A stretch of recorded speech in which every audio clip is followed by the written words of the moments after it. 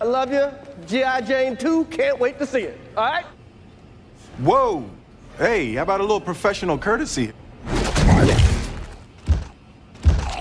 Keep my wife's name out your Please. mouth. Lord! I'm being serious. I'ma eat your face, goo. oh, hey, I'm not gonna slap you. Wow, dude. I'm out here. Uh oh.